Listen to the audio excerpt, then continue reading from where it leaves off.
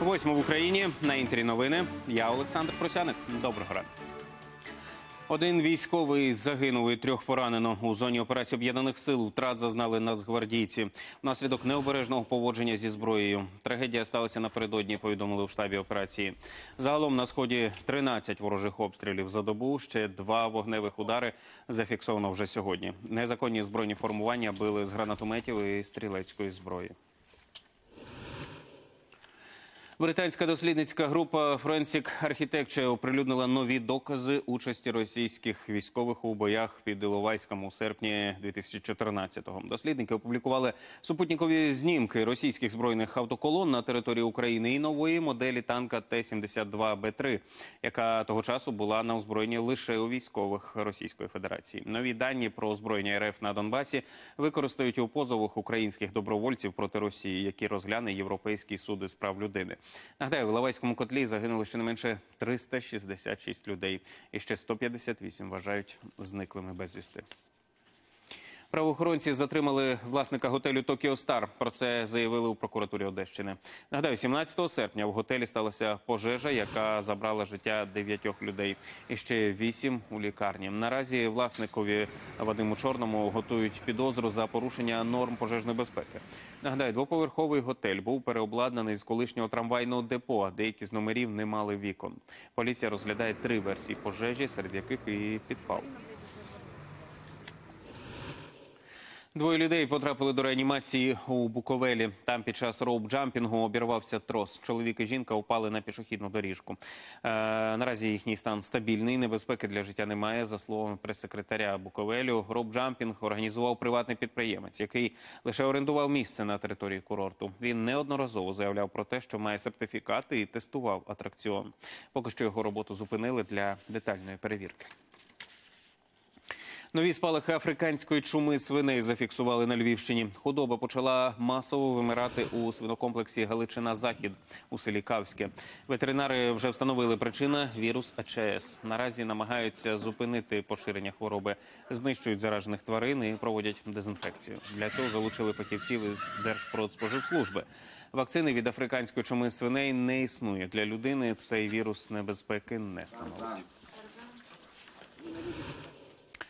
Троє загиблих і п'ятеро травмованих на Черкащині зіткнулися легковик і рейсовий автобус Черкаси Миргород. За попередньою інформацією, водій Деуланос не впорався з керуванням і виїхав на зустрічну смугу. Внаслідок лобового зіткнення троє людей в автівці загинули на місці.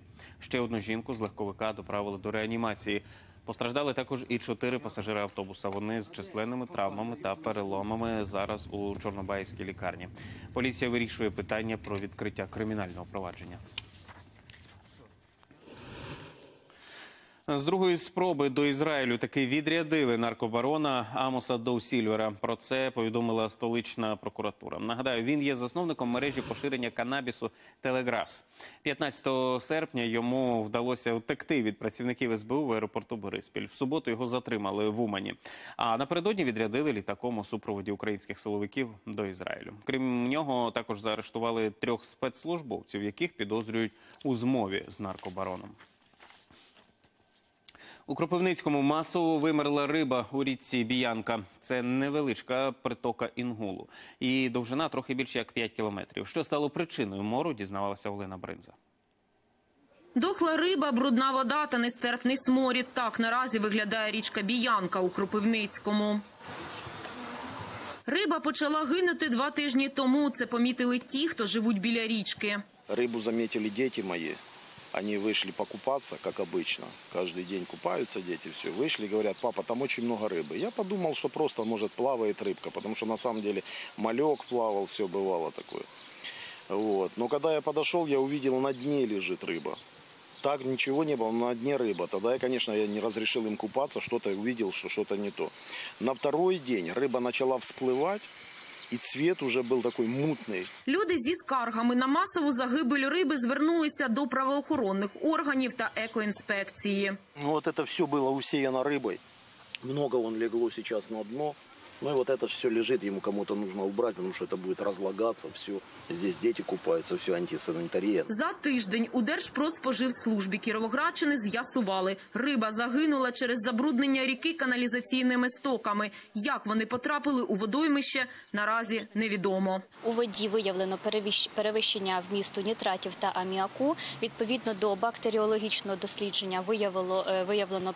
Також перевищення у воді мікробного числа і колііндексу. Це говорить про наявність у воді е, лактопозитивних кишкових паличок. Можна говорити про те, що є підозра, що річка забруднена була кана- каналізаційними водами.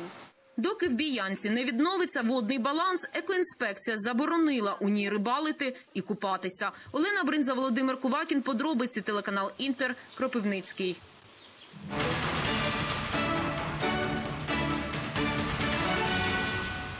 Понад дві тисячі жителів довелося евакуювати на Канарських островах через лісові пожежі. Зайнялося у суботу поблизу міста Валесеко на острові Гран-Канарія. Вогонь швидко поширився. Вже вигоріло близько тисячі гектарів лісу. У прилеглих районах оголосили надзвичайний стан. До гасіння залучили з десяток гелікоптерів. Швидко локалізувати вогонь заважає сильний вітер. Відповідальність за вибух на весіллі в Кабулі взяла на себе ісламська держава. Заяву зробили представники терористичного угруповання. Нагадаю, в суботу під час весільної церемонії в одному з готелів Кабула підірвався смертник. Загинули 63 особи, близько 200 поранені. Це вже другий напад в афганській столиці за останні півтора тижні. Десять днів тому здетонувало авто поблизу поліцейської дільниці. Тоді загинуло 14 людей. і Майже півтори сотні отримали поранення. За ту атаку відповідальність узяв на себе Талібан. Ретрозаїзд Балтійським шляхом у Вільнюсі десятки вінтажних автомобілів рушили в символічний пробіг. Його присвятили 30-річчю акції Балтійський шлях, коли жителі Литви, Латвії та Естонії вийшли на вулицю і утворили живий ланцюг на знак проти окупації Балтійських країн радянським союзом і злочинів тоталітарного режиму. Ланцюг тоді розтягнувся майже на 600 кілометрів і об'єднав три столиці. В акції взяли участь близько двох мільйонів людей. Тепер цей маршрут відтворять ретроавто. Охолодитись по-модному у Японії в спеку шириться новий тренд холодний десерт на основі не штучного, а природного льоду. В країні досі працюють майстри, які виготовляють його вручну. Як влаштовані крижані ферми, знає Ірина Іванова.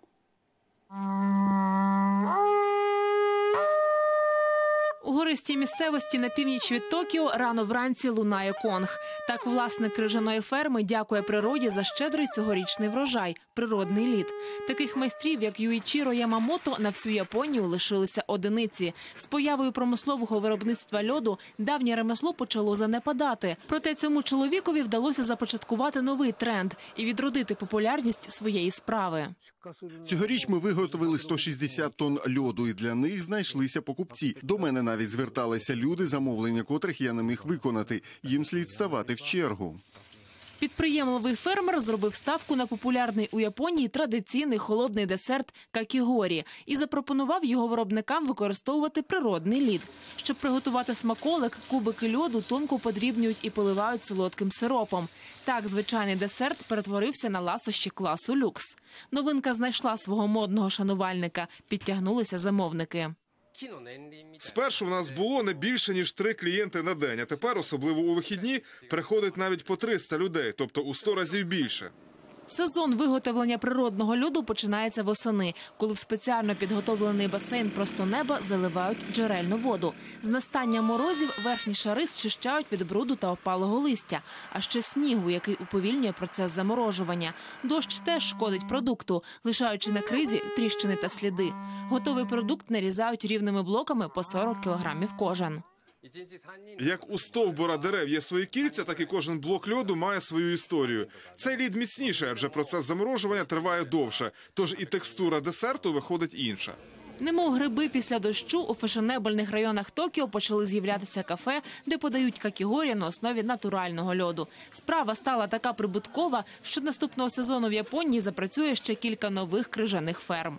Ірина Іванова, новини, телеканал Інтер. Традиційний марш оселедців відбувся у Польщі. Близько сотні учасників перейшли Пуцьку затоку в Гдині, а це близько 12 кілометрів мілководдя. Цього року спортивна розвага мала екологічне спрямування.